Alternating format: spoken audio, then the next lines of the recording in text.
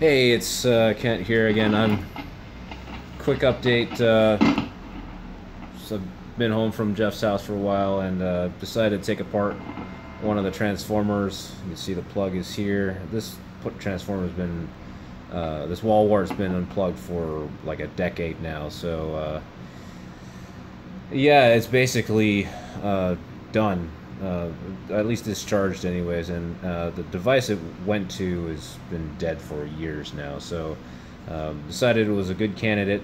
Um, so I took it apart or at least took off the casing.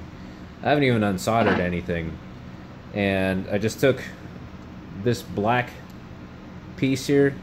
Uh, that's um, a magnet for uh, a bicycle wheel uh, speed sensor and uh, I just stuck it right on the side of the uh, this part of the, the, the transformer.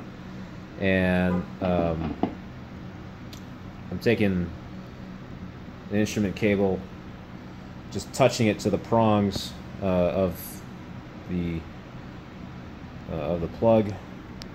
Cable goes down to my amp.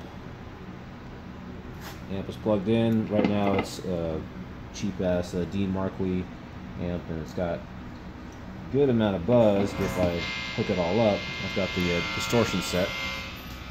So